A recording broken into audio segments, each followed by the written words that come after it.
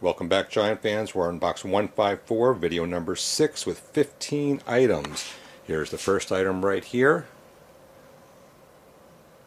hanging up.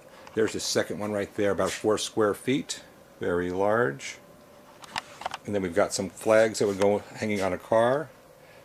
Item from the Super Bowl 35, another one from Super Bowl 35, and one from Super Bowl, all three from 35, different variations of those flags.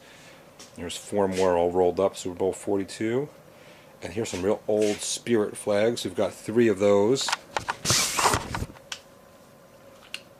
Three old Spirit flags. These are great old item you'd buy at the ballpark. We've got these two still in packages here. This 30 by 45 wall hanging in the package, and another uh, wall hanging um, collector series. And the most special one here is this red square velvet one. It's about hmm, about a square foot, real thick, and on the back you can see it says a Minnesota Emblem Company. So this may have been one of the original ones from the 20s or 30s. That's just a great old piece there. And there we go. There are 15 items, more material items for box number 154.